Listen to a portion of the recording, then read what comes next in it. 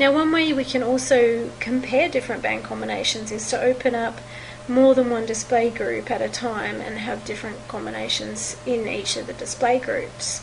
So at the moment in my first display group I've got a standard 321 or RGB um, true color composite, so 321 is RGB.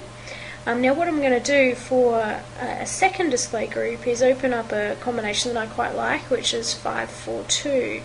So this is bands 5 as red, band 4 as green, and band 2 as blue. And so in Landsat terms, this means we're using a mid-infrared, which is band 5, a near-infrared, which is band 4, and green, which is band 2. Now instead of just loading that straight away in our first display group, what I'm going to do is to pull down this drop down here and go new display, um, which will automatically give me a second um, display group window to start with. Just resize that. Um, now if I hit load RGB this time, what I've selected here is going to go into display group number 2. So here we go, we've got our, our new display group, display group 2 um, showing us the band combination of 542 and immediately you can see there's quite a number of differences and different features that are really quite clearly apparent in this type of display. Now this is also called a, a false natural color, so false because it's not using the standard red, green and blue um, combination that we see with our eyes, but natural in the sense that vegetation is still appearing green.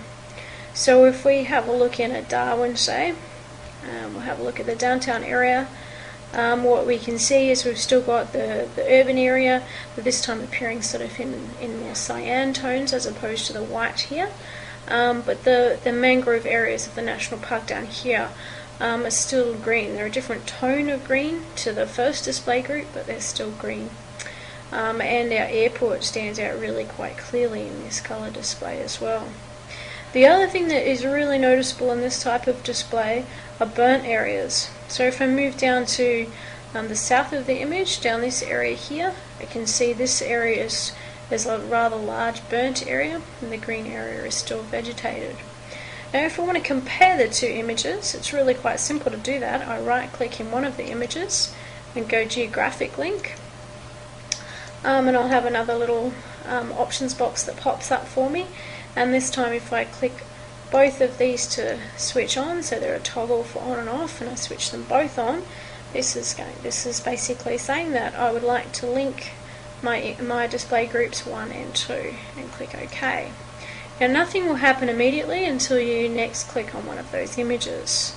So say if I click in my display group 2 somewhere in this burnt area we'll see that display group 1 automatically flies to that exact same area um, of the image.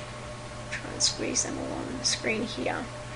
Um, so this feature here is really quite nice um, and clearly apparent in the 542 combination, though not so much in the standard red, green, blue.